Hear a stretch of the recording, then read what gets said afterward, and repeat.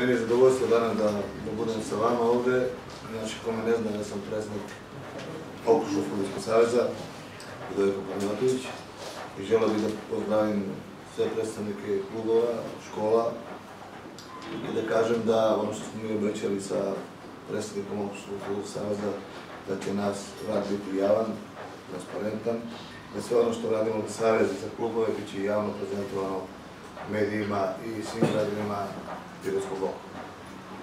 Meni je zadovoljstvo danas da budem ovdje s- i da kažem da smo ipak uspjeli zahvaljujući školici futbola koju vodi dugo niz godina drug Zoraja, gospodin Zoraja i bit ćemo danas školama, klubovima podeliti ove rekvizite koje možete da vidite ovdje koje smo koristili ili koje nisu korišćene u ovoj školici futbola.